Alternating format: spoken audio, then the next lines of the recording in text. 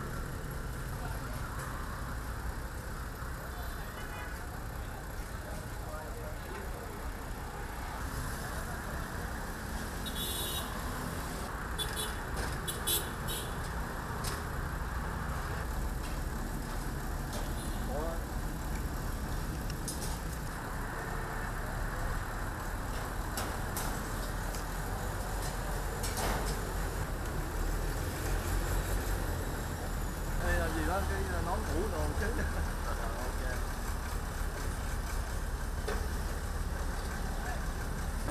Đây, đây, nó, nó, nó bốc ờ, nó phá đầm xong nó đổ cái cái ờ, bê tông ờ, mắt 300 và 20 phân ra cố Bây giờ hãy xong thì có em vẫn tới hàng rào chắn. bây giờ đào ra trong đầm